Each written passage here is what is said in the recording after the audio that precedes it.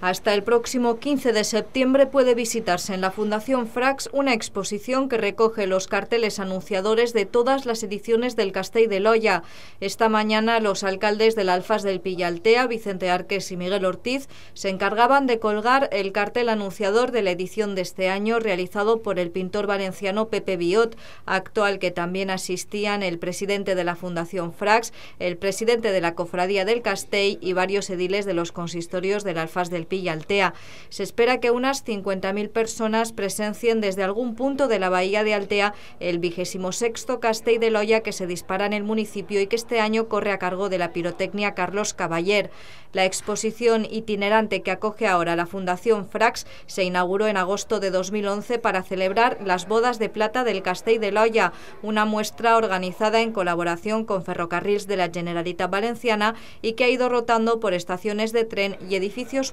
provinciales.